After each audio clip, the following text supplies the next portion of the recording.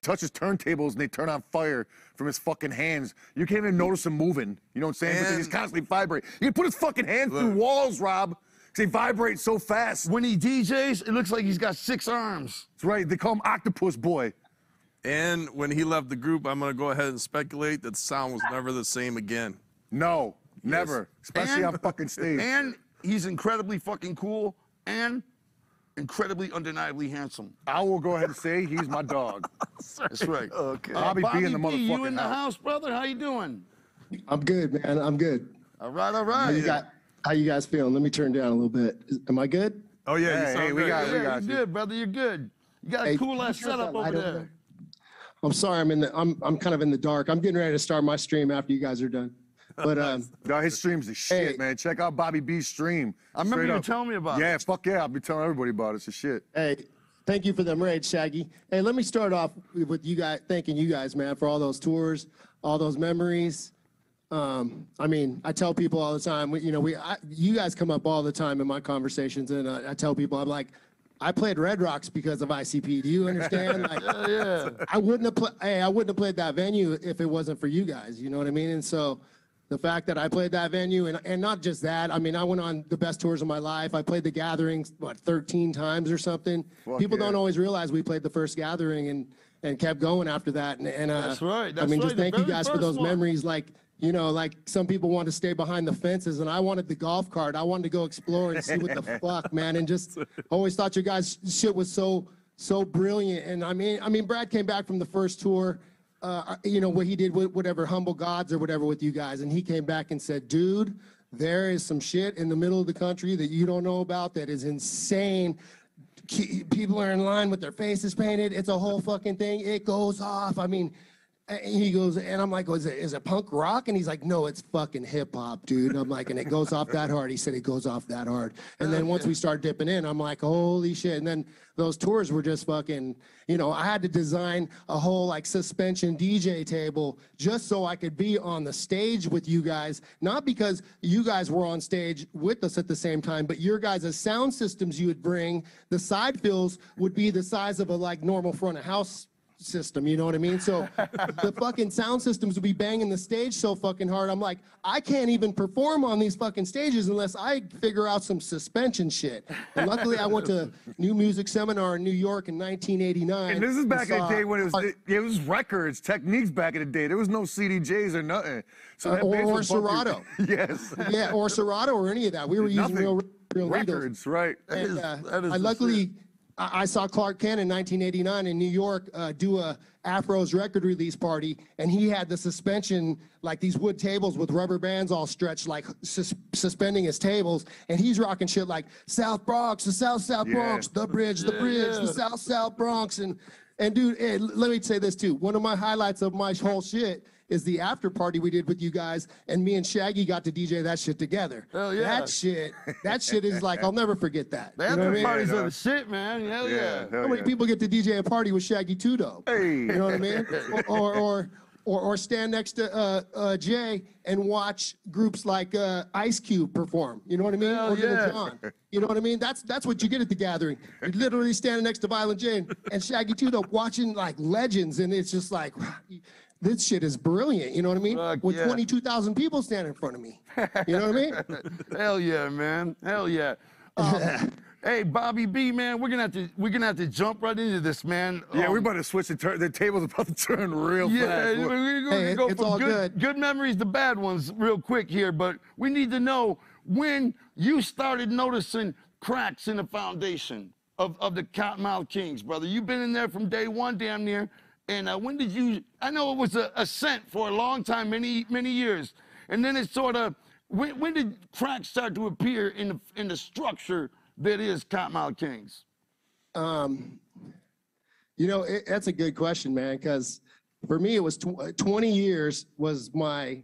I was already doing music for a while, so you know, it's 20 years of like putting my head down and making that ship drive forward and like making sure we did every show and got paid for every show, whether we were in Australia or Japan or on tour with you guys. Is like, you know, I tried to like be the solid foundation for not just me, but in Kottonmouth Kings, but everybody on the label.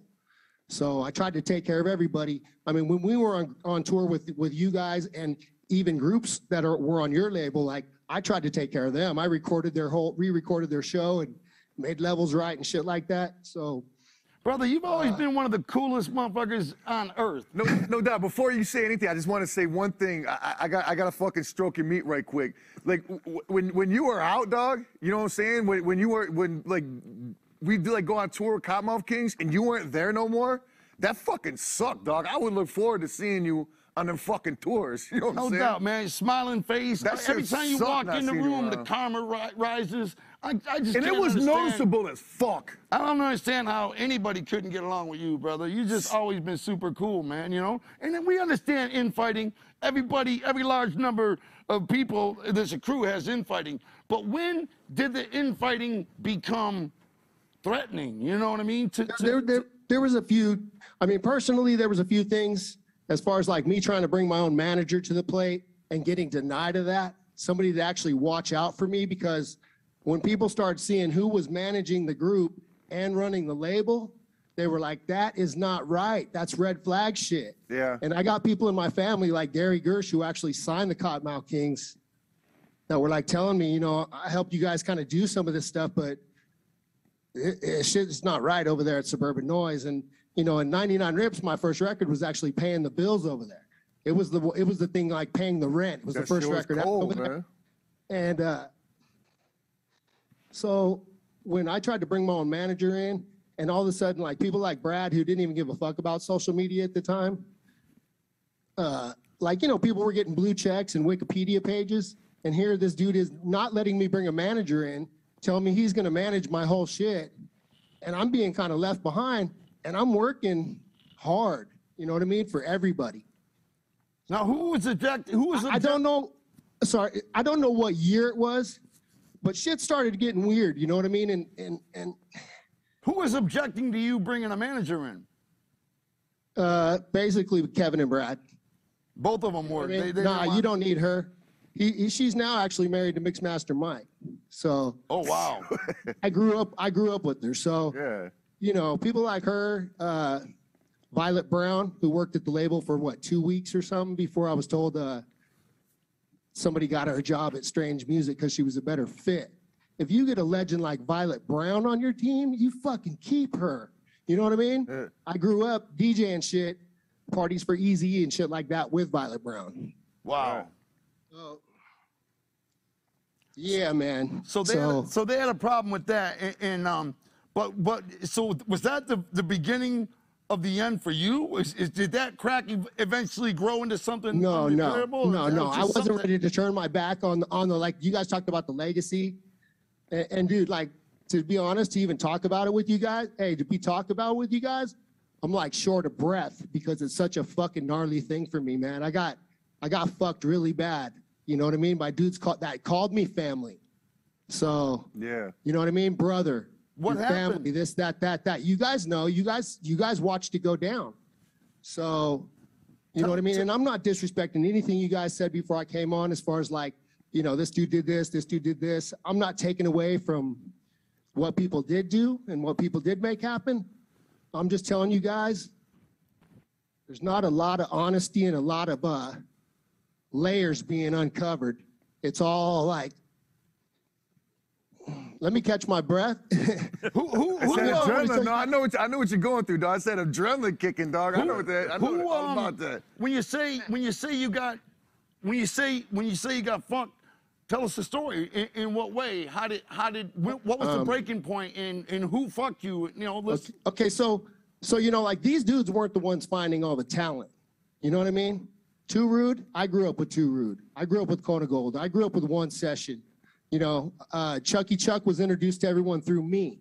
I was the one that found out about Big B, Big B through the 187 dirt bike ride. You know, when he had 187 through dirt bike people like like Dave, uh, Porno Dave, and people like that, who actually beat Homeboy up later on for burning one of the dirt bike riders and doing some shady like video shit. You know what I mean? Yikes. I don't know. I don't want to say a bunch of names on here because I don't want nobody coming after me legally and shit. 'cause question. That's how gnarly and shit. Lives were threatened. I'm gonna tell you that. Lives were fucking threatened. So that's why when you guys are like, it's the fucking legacy. It's the legacy. I get it. But at the same time, when somebody threatens my life, fuck, man, it's a gnarly deal. When somebody Yeah, how do you go back from that? Right. when somebody's when somebody's supposed to be watching out for my back and I'm on the tour bus at two in the morning and there's a video on the satellite and it's a movie. It's a, it's a Marky Mark movie. I don't remember the fucking name and I should. So uh, So somebody, th- and- and The- the somebody in the movie- band threatened you? check this. Hold. No, and I don't want to say no names. It wasn't nobody in the band. So the movie's the movie's ending, and I said, "Hey BJ, who is this? What is this?" He said, "It's a Marky Mark movie. It's on the satellite in our tour bus, just ending." And the credits are going up the screen, and I said, "Is this the audio from the movie? You know, you know, in the tour bus, you could be it on like maybe maybe you're on a CD or some shit." Yeah, yeah, of course. No, that's yeah, that's that's the movie. D-Loc, come here from the back of the bus. Him and Kona Gold come running up. I said, "What is this?" He said, "That's a Kottonmouth King song. Me and Judge D are on." I said, "That's that's you right there." He said, "That's me." I said, "That's on this movie. You know about it?" Because we didn't have very many songs on no movies or no shit, right? I mean, we had Suburban Life back in the day or whatever. So I said, let's see who's who gets the credit for this one. And it was uh, our former manager's name and his clothing company, Productions, for the credit on the song. Wow. Oof. You talk about a red fucking flag. You talk about a red flag not very, very, very far into our careers when I have pe- experienced people, people like Tommy Lee and people like that telling me, yo, dude, how do you guys make any money? You guys meet, you guys tour all year to make, like, I don't live in a good neighborhood. I still don't live in a good neighborhood. You guys tour all year to make that much money, B? I said, yeah, man, Tommy, I don't, I don't have a lot of money. I'm telling Tommy, take me on a DJ gig, dude, because I need to make some extra cash. I have no money coming in. All my publishing's been ripped off. All my royalties are gone. A lot of times I would co-produce most of those songs by, you know, scratching on shit and then adding 808s and bass lines and shit like that. That's co-producing. So when I said, hey, man, I need my, I need my, my publishing on this song. Ah, nah, man. It's it's all Kuma guy and Brad. I said, Brad, Brad don't make no music. Why would he get publishing on the music if I'm the one adding all this shit? You're just the fucking DJ, Wow. Oh. That's right? Right. And dude, keep in keep in mind before you guys say former fucking interviewee started this shit, he didn't have nothing to do with with us when we made Royal Highness. He, and matter of fact, Kuma, we didn't even know Kuma Guy when we made Royal Highness. That shit was made off my turntables with a couple keyboard players. I've always known you do beats though. I've always known you do the beats. So so you were getting screwed on that? dude, song records would come out, and, and you know, we're, we're in the bus usually, opening the fucking artwork, and I'd say, What's on the run say? What size of that size of an asset? What what does this song say? What it says produced by Kuma Guy and Daddy X. Fucking get on the phone. Yo, dude. Oh, it's just a typo. Oh Well, guess what, man? My BMI checks, somebody told me they were rerouted to some other address in like Burbank or somewhere. You know what I mean? All my checks were diverted for how many years? And then when I got like, oh, well, we'll send you the recoup, it was hundreds of dollars, dude. Wow. At the same time, if you ever have a manager, and you guys, this is kind of a gnarly thing. Think about if you're manager of all those years, and I'm not going to say no names, but think about if he had his own clothing company. And he's like, yeah, dude, ICP.com, at ICP mention, you know, Instagram, Facebook, blah, blah, blah, blah, blah. Check out my shit. Here's my logo. Here's my clothing company. Your manager shit. Not not the hatchet, not no ICP logo, not nobody's none of your artist logo, his logo.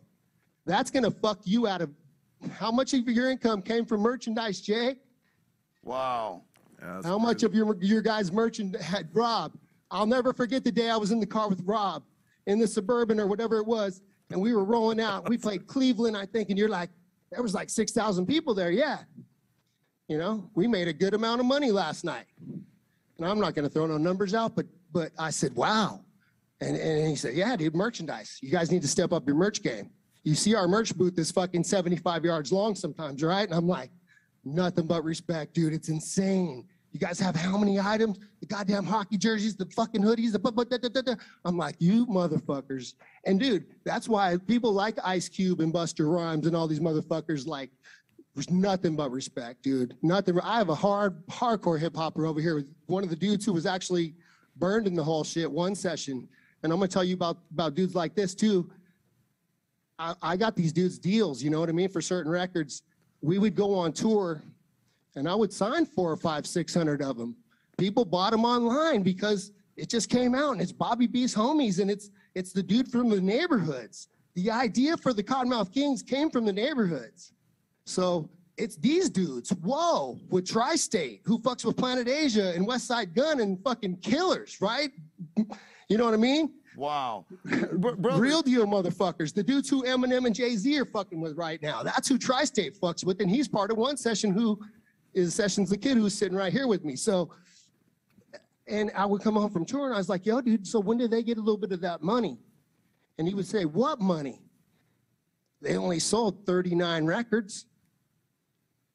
I was like, motherfucker, I signed 39 the first day Yeah. at the at the meet and greet at 420 that I had to go to. You remember? Not that I had to go to, because God bless the fans and the people I got to meet doing that.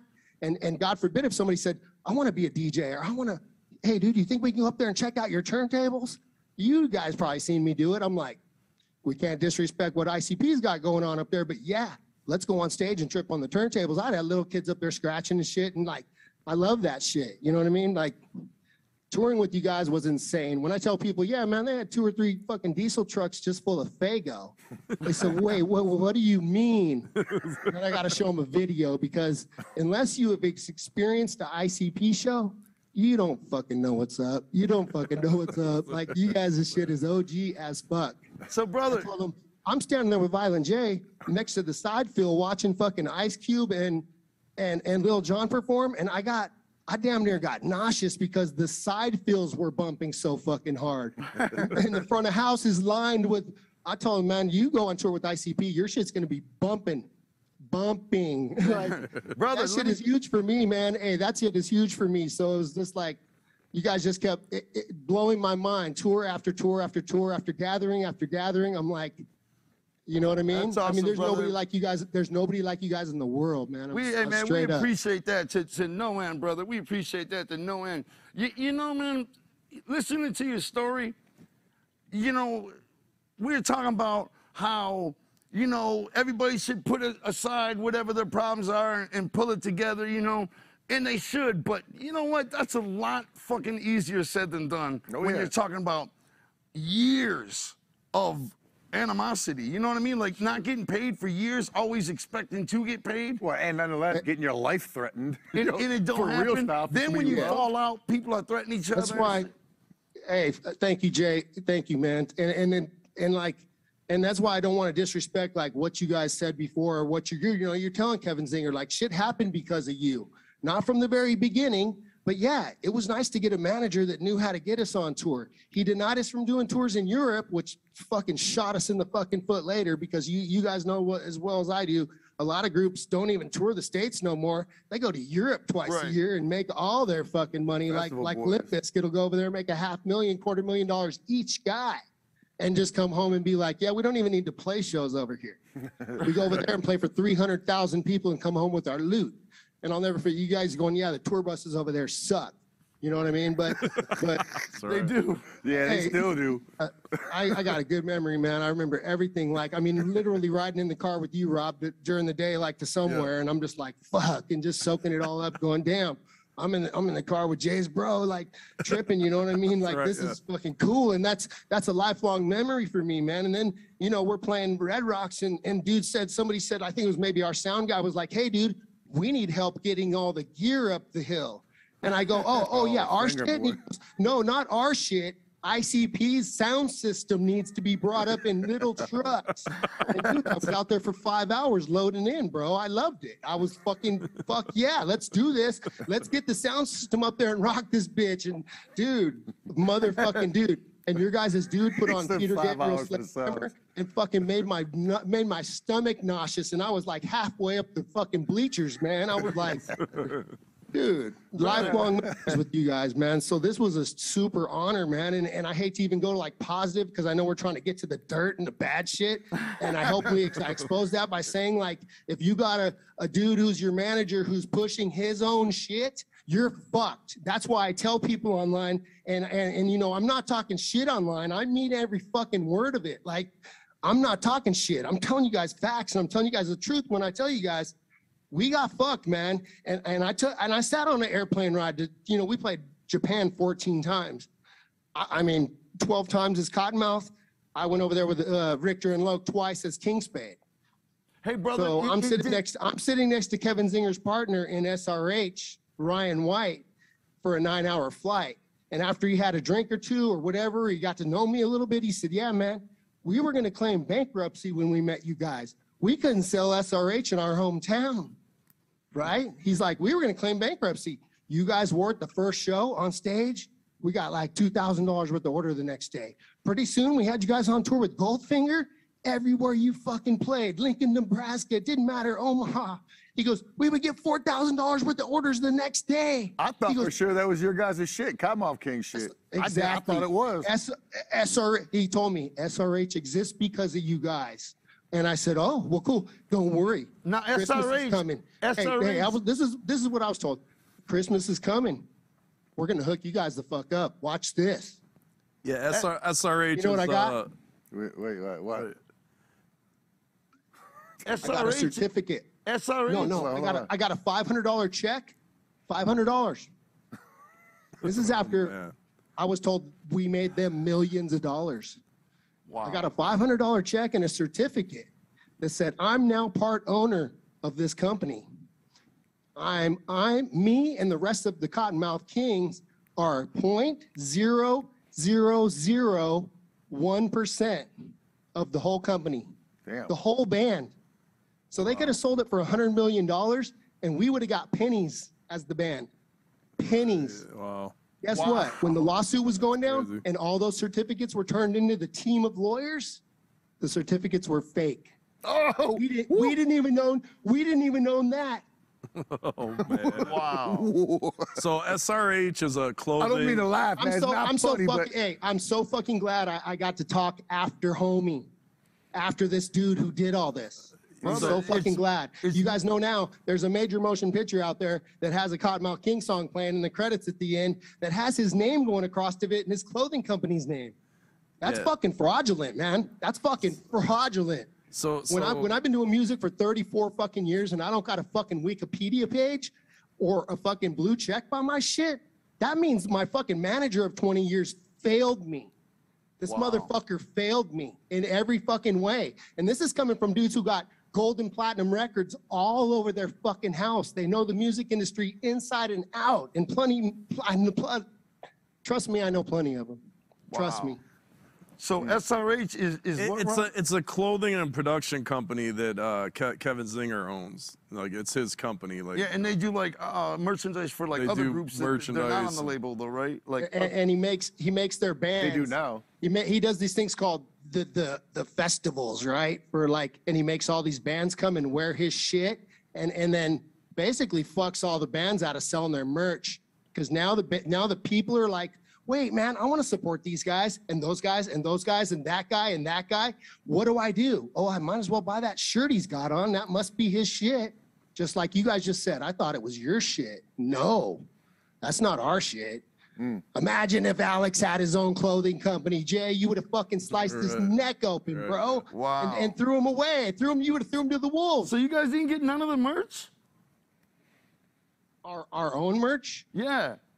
KMK merch. We, you guys we got would some make the- we, we we would make a percentage of what we made on tour, but we would later find out. Well, he took a percentage of before you guys left, and he took a percentage of what you guys made, and you know, like shady shit went down. Like during the during the lawsuit, some girl ends up at some mansion in Malibu, and she's like, "Guess who was sitting next to that dude? Your old tour manager, who's supposed to be like one of Brad's best friends." He's like, "Aren't you guys going through a lawsuit?" Wait, this dude is sitting next to him at a barbecue. Like shady shit, dude. You guys didn't even know how like how much shit came out. And it's like for for like this dude and all these other artists, like basically just to, I'm the only one saying shit, guys. I'm the only fucking one out of out of like 27 of us. Some of these bands are everybody. I, I mean, I know numbers, and I'm not going to sit here and spit numbers of why like why certain people aren't in prison, or maybe like why certain people are lying to people. I, I think he actually drove Uber for two weeks to like just show people that he doesn't have any money. Fuck, he took all the money from the catalog, all of it. And then the other dude is working out something for Richter and Loke. I said, well, yeah, they got lyrics on the shit, but damn, who co-produced and produced a bunch of this shit? Like, he ain't working shit out for me. And, and, and he can't say, well, I've tried to reach out to him because no, when all the fuckery went down, I tried to reach out to that motherfucker via email, via text, calling him for three or four months straight. And then after that, I was just like here in my house by myself going, what do I do? I'm going to lose everything. I have no income. This dude is like, I'm pretty sure he basically just tried to ruin my fucking life, man. Like, so it's really gnarly, man. So, uh, yeah, I had to sit here and I like listen. And, and you know, my, my boy's like, you should listen to what the fuck is being said on there. You know what I mean? Wow, that's And it was gnarly. deep, By the time you guys got to me, I was out of breath. Because it's that gnarly to me, man. You to know, be it- fucked, it- it- it's fucked like- around, to be fucked around for life, but life-changing amounts of money is super gnarly, man. Don't think I didn't think about calling you guys for fucking help. Yeah, no, no doubt. And, and, and- and, you know, I really we, did. We knew there was some scandalous shit going on, but who would have known? You know what I'm saying? That the, the rabbit hole would have been that scandalous. Right. You know what I'm saying? Yeah, for sure. Now, now, Yeah, what- man, what- and- and- Bobby, what's your Yeah. take on uh, what's your take on Brad X? Like, where do you know where Brad X is today? And um, what is your opinion of um, you know, like, what what what's the story on Brad X, basically? So Brad did fall down that thing of like being there and being the dude who was like, yeah, he had he had our manager running the label. Fucking massive red flag. Don't ever do that, man. Like I thought about holding master classes on like what not to do in the music industry just cuz I got fucked around in the neighborhoods too with this dude. Like we got burned too. You know what I mean? And um, so we that was like this what the third time I've been burned or something, and like this time for like huge amounts of money, like life changing amounts of money, where I'm like reaching out for help, recording, doing anything I fucking can, but at the same time I'm like going into depression because when people call you brother and this kind of stuff and this family thing and like you guys know I put my fucking head down and worked hard out there, man. Like I just didn't bring like two turntables and a mixer out there. I brought fucking like three sets of gear just in case we had an after party. Good, just in case something broke. I brought like six sets of needles. I got a sponsorship by fucking Vestax, my own sponsorship. Nobody fucking hooked that up for me. I had to work to get every sponsorship, like any shoe company or any of that shit. And then we would, I, would- I had friends that worked at the label for a minute. As soon as it like all our friends started being fired from the label and anybody that cared about Kottonmouth Kings, that's a red flag. And they're like, yeah, dude, I don't understand it. One of the dudes was was dude's best friend. And he was like, yeah, I'm being pushed out of the label. I don't know what's going on over there. Yeah, there's secret shit being said. They just pushed Violet Brown out of the company. Like, I don't know, dude. And then and then when I told got told by one of the rappers, like, hey man, homeboy's having a fake QuickBooks made. And I go, what do you mean a fake QuickBooks? And he said, a fake QuickBooks. It's designed to rip us all off. And I said, what the fuck are you telling me right now? He said, he's he designed, he's de- he's having a fake QuickBooks designed. Like, you know, he always says, like, you want to look at the computer screen and check the numbers? You know what I mean? Like that was his shit. When he, when you walked in his office, you want to see the numbers? You want to look at the fucking numbers on the screen? And so I'm like, wow, he's building. Yeah, he said, yeah, I know the hacker dude that's building it. Well, Damn, that was getting that was one of the that was one of the first dudes who went back over there. You know, and some of these dudes in bands are like going on tour and like plastering their their stage with this dude's logo still. And I'm, I'm wondering, I'm like, and then you talk to any of the guys in the band, they're like, yeah, no, the lead singer takes all the money. We don't make shit. Did and I'm like, that's why, because they're not they're not selling gear. The other dude is. Did you the know- one dude who's supposed to be their manager? Did you notice a change in uh, Brad's behavior at all over the years? Okay, okay, fucking sorry, dude. You know I smoke a lot of weed, Jay. You know what I mean? Sorry to get sidetracked. Let me answer your fucking question, bro. I love you, man. So check it. Yes, I absolutely did. Like, you know, we would be on tour and and um and uh we would get a we would get a record that was say say like it, it just got mixed, you know, and so it's out there. And keep, keep in mind, like we finished the record like right before we left. And um, so I would have like my rough mix out there showing basically Richter, Loc, and Pac in the back of the bus. The dude's in the back of the bus sitting there smoking weed all fucking day, right? I'm like, check out what I did to our new shit. And Richter and Loc are all about it because they just got done laying all their shit too. So they're like, yeah, let's hear what you did. And so we would actually get in this groove of listening to this shit going, damn, this shit's fucking working. Damn, that bass shit you put in there, dude, the 808s are fucking sick. You know, whatever I fucking did to it. And I'm not saying I fucking made a lot of our beats happen or I'm not taking away from what Kuma guy did because he's a fucking master at what he does. Like those indus- industrial hip hop beats that we had were like, a lot of them were his feel and, and his creations, you know what I mean? And I, I touched on probably 95% of everything we ever released. And I was the one who came up with like, let's transition from hip hop into punk rock. And Brad's like, how are we going to do it? And I'm like, we can do it with the turntables and weird effects. And, you know, and now, now of course it's a different game with Serato. It'd be real easy now, but we were doing all, everything with like foot pedals and whatever I happened to have on deck to make it happen back in the day, you know? And we were recording to two inch, probably like you guys were back in the day, like the real Otari reel to reel shit. It was a, a different monster in the studio before Pro Tools came out, you know? Oh yeah, yeah, no doubt, no doubt. So, so, uh, So, so, so Ray J, I'm going to answer you right now. So, as we're in the bus and we're listening to these mixes, and then Brad gets this, you know, the mixes or a CD out there or whatever it is, and he sticks it in the player. And I walk up there and I say, hey, you know, some, sometimes it's like a simple question of like, where's all my shit? Is this the final mix? Well, well, yeah, we're it's already gone to the mastering guy, but you know, Bob, Big Bass Bob that did NWA shit, or this guy, or what, whoever.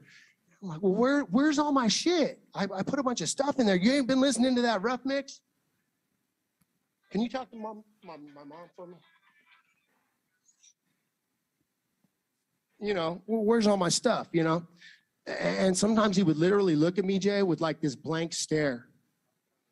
And it was the weirdest fucking thing. Like literally cleared our bus out a few times. Like a couple of times it was at home shows and like everybody in the bus would like literally, you know, would just get quiet all of a sudden and then people are just walking out of the bus like unawkwardly and he's just sitting there and like and and yeah, like he starts sleeping from you know, and I understand it's hard to sleep on tour, and some people do fall asleep at five or six in the morning. We're pumped. We got off stage at fucking midnight or twelve or whatever it is, and maybe we're on an East Coast schedule. You got, you guys know how it is. Sometimes you don't sleep at night on tour. It's fucking given.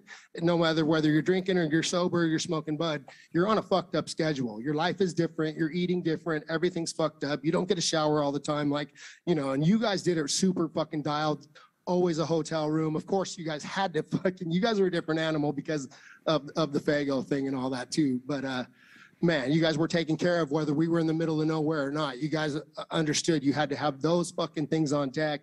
And those weren't, those things weren't always taken care of for us. And, and Brad didn't always making sure we were taken care of.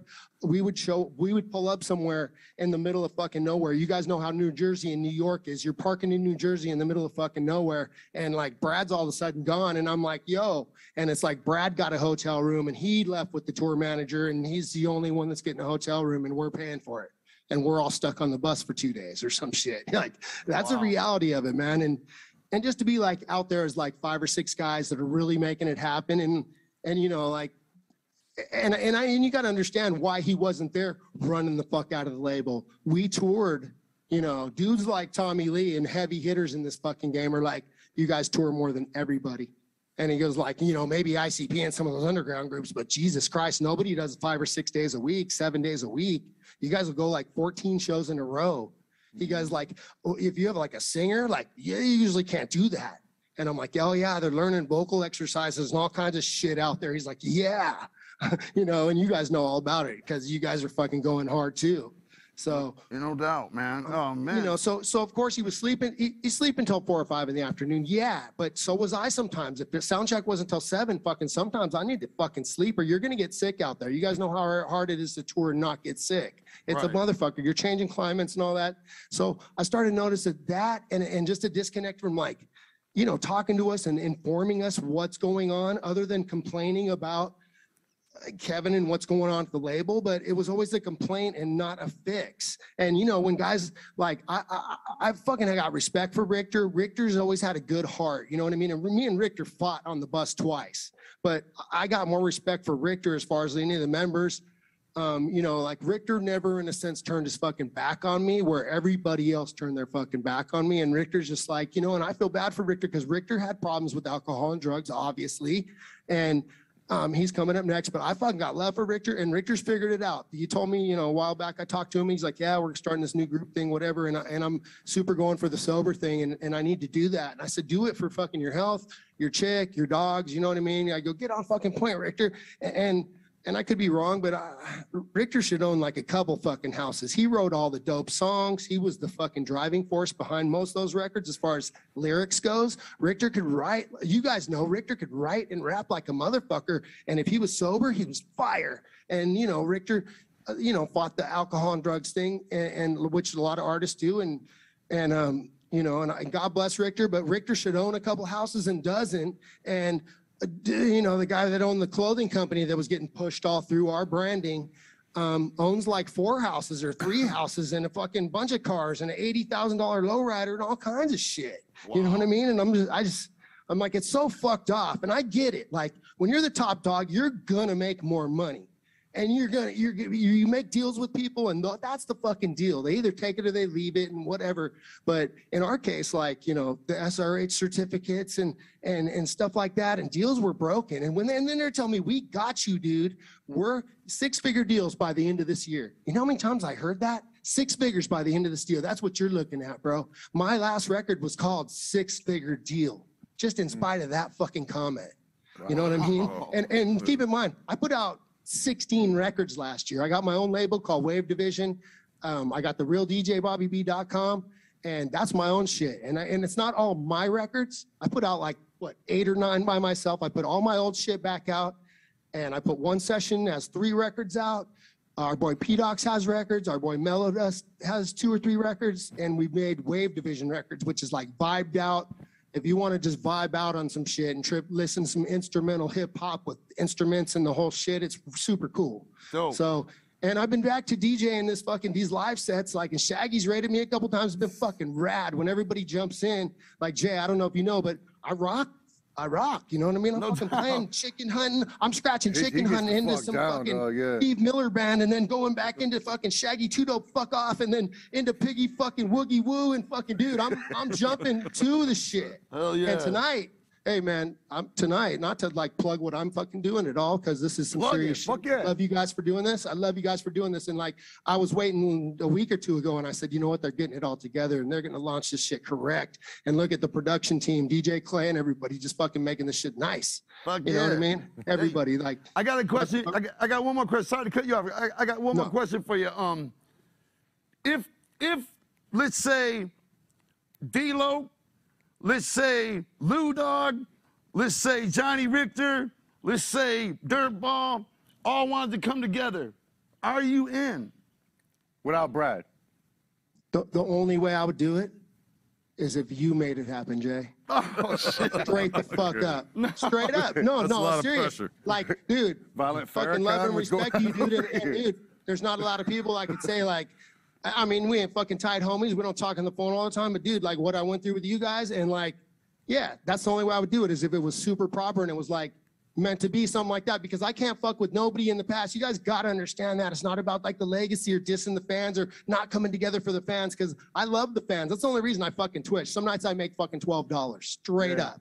Straight up. I mean, you guys fucking got it going on. I make $12 some nights when I fucking spend for like six hours. So eh, I'm doing it for the fucking fans, trust me. And I played a Kottonmouth instrumental the other night. First time I played any Kottonmouth shit on there. And people were tripping, but I play you guys almost every fucking stream. I'll rock in some ICP and there's always, you know, Juggalo Darcy, fucking John Doe Juggalo. It's always some Juggalos in there that are like big up. And they'll even sit through like, you know, I play like dance remixes, Kaytranada, and some weird like heartfelt shit. They stay now. They're they they realize I'm gonna fucking mix out quick. I'm on the decks getting it. you guys are ever in LA, come over here and let's just fucking get down. For I got sure, MPC. Sure, I got dude. MPCs all over the room, turntables all over the room, and we fucking could get down and just We'll have be fun. there. We'll be in LA second week of January. Let's get together. Yeah, for sure, brother. right. No Uh, doubt, man. Thank you, man. Hell yeah. Thank man. you guys. Thank Big you. shout out to Bobby B, B. man. Hell you're the shit, man. We love you, man. For real. Hey. You're, you're, you're a real one, man. You know that? Thank you so much, man. Love you guys too. Hey, and shout out to Richter, man. I know he's coming on here next, man.